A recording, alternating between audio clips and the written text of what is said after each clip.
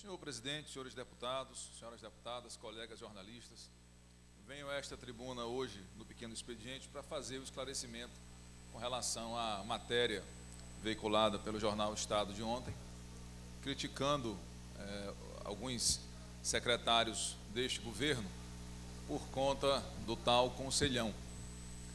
Mas para esclarecer e para não deixar passar como verdade algo que não é.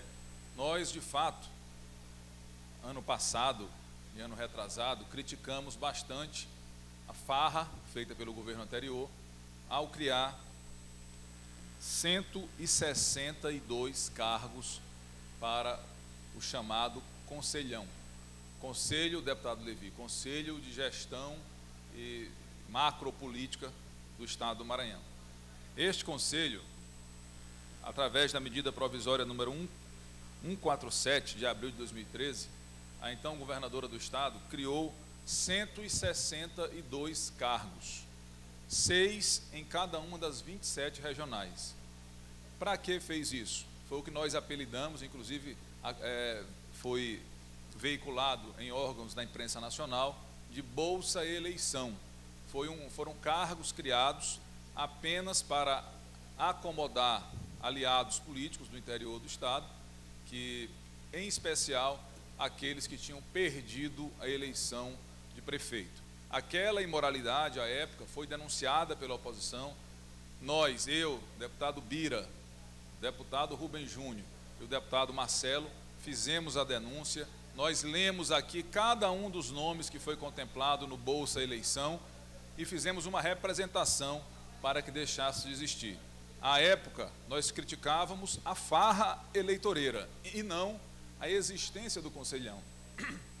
Até porque este conselho, este conselho foi criado na, no governo Zé Reinaldo e era um conselho composto exclusivamente por secretários de Estado, que reuniam uma vez, que reuniam é, mensalmente ou mais de uma vez, dependendo da convocação do governador, para discutir os assuntos de interesse do Estado, de interesse do governo do Estado.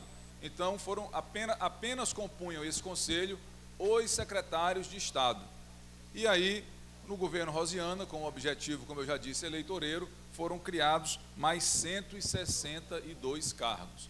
Então, para esclarecer, na realidade não existe contradição, inclusive o, é, isso aí é algo que é claro, não existe contradição nenhuma. A crítica foi feita à época pela imoralidade e o que existe hoje no governo Flávio Dino é o conselho com a composição exclusivamente dos secretários de Estado.